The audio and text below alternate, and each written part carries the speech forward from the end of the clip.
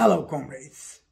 My name is Ertuğrul Kürkçü. I'm the honorary chair of the People's Democratic Party of Turkey, a mass party comprising a strategic alliance of Turkey's left-hand democratic forces with the Kurdish Liberation Movement. I'm honored by your invitation to participate in this forum and I would like to contribute with a couple of comments relying on the best practices of the international's heritage and uh, of our own experiences. We are meeting at a time of war between NATO and Russia that is fought on the Ukrainian soil. It has been more than one month and the human casualties have already passed thousands and heaping with tens of thousands. The beautiful and peaceful cities of Ukraine are ruined and continue to be ruined. Millions of women, children, and elderly had to flee their homes unless immediately stopped by determined international action for peace, the ongoing war in Ukraine, given the insanity and selfishness of the leaderships of the contending parties, implies even the involvement of nuclear arms in the conflict and thus threatens the very existence of the globe as such. Immediate action by a third force, that is the collective will and determination of the peoples to prevent their leaders from further bloodshed and devastation of the lives of the survivors is urgent. On this occasion, I would like to express my condolences to the peoples of Ukraine who have lost their beloved ones in this insane and ruthless occupation and to the mothers of the Russian soldiers who mourn for their martyrs without a cause who are lost in others' war. In this war, and in any war of an imperialist character, internationalists should stick to the principles what have passed the test of time in the two previous world wars, the Revolutionary Wars and the Wars of National Liberation. The internationalist peace program should, without any reservation, condone the recognition of self-determination of nations simultaneously with the repudiation on, of annexations. That is, the internationals of every nation should demand the right of secession for the nations that are oppressed by their nations. This is the principal point for a democratic and lasting peace worldwide. Further, internationalists should incessantly explain that the imperialist powers and the international imperialist bourgeoisie cannot grant a democratic peace. Peace should be won by the collective and simultaneous action of the peoples, the first step of which is to detach themselves from the hollow patriotic verbalisms of their bourgeoisie and fight for their defeat. In this war in Ukraine, we hear many repudiations of the Russian claims of the negation of the Ukraine's right to self-determination, and rightly so, but we hear very little about the right to secede of Donetsk and Luhansk we hear many words of Ukraine's right to freedom to choose NATO membership as a sovereign nation, but we hear very little of the criticism of this mockery of freedom, what boils to an oxymoron freedom to join world domination.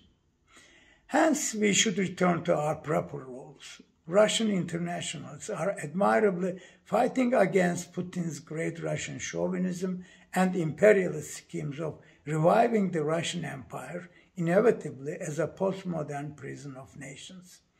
This compels us to play our parts as the ardent critics of the aggressive military pact of NATO and of the contribution by our own governments in this war of domination with the people's resources, of the hypocritical justification of this unjust war.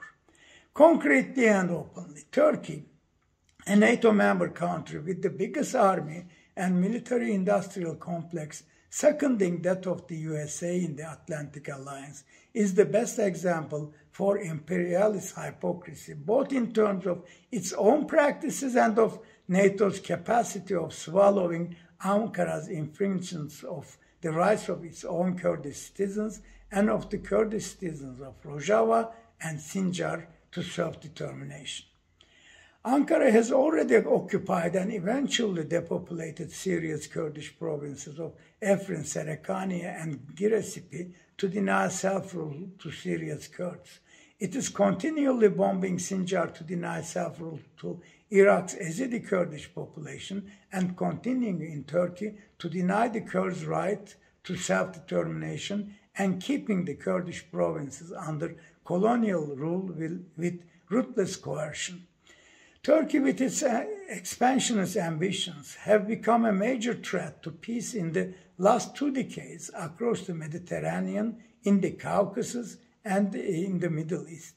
It builds alliances with warring parties in Libya, in Azerbaijan, in Somalia, and backs regime change in Syria, as well as organizing, arming, and hosting Al Qaeda and Daesh elements against the Syrian regime and Kurds, as well as building a proxy army of jihadists for its own purposes.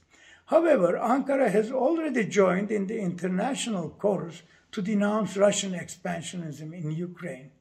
Turkey's government controlled mainstream media 724 turns video clips of Russian atrocities in Ukraine. However, the very Putin regime provides Erdogan the best role model for dealing with its own war resistors, express jailing and sentencing of the dissidents for high treason.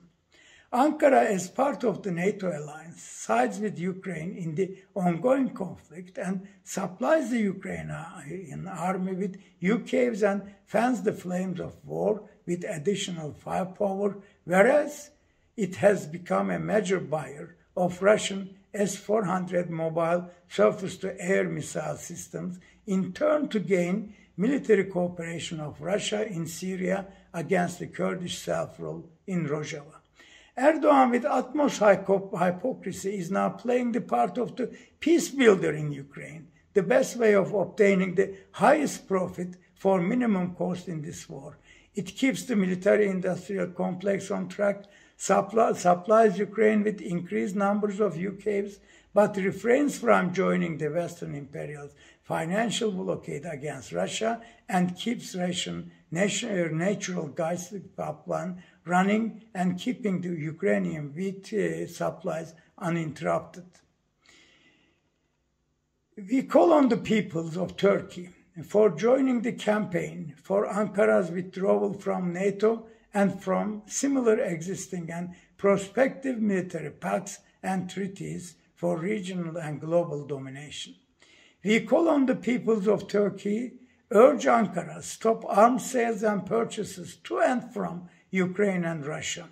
We call on peoples of Turkey, urge Ankara, withdraw its military presence uh, from Syria, Iraq, and Cyprus. We call on peoples of Turkey to join forces for a reconstruction of Republic of Turkey on the voluntary unity of peoples, on the recognition of self-determination of any constitutive entity down to the smallest village. The United Nations cannot stop the ongoing war and the growing threat of nuclear war as the very conflict stems out of the competition for domination and repartition of the world. I believe the conditions are ripe and the need is urgent for an international movement for peace, for calling the peoples of Europe and the USA and Russia to resist the war of their own governments, for bringing together the political and social movements, public opinion leaders, governments who distance themselves from the contending parties to the war.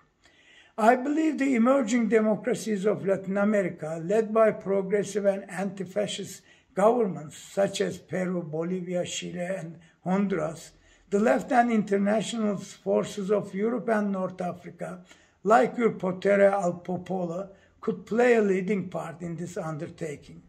We call on for an international front of peoples for peace to stop the war and to protect the globe from extinction by humans in human activities, or we may end up at extinction and this case, even going back to barbarism, may appear as a pink scenario. Best regards and many thanks for this opportunity. Thank you.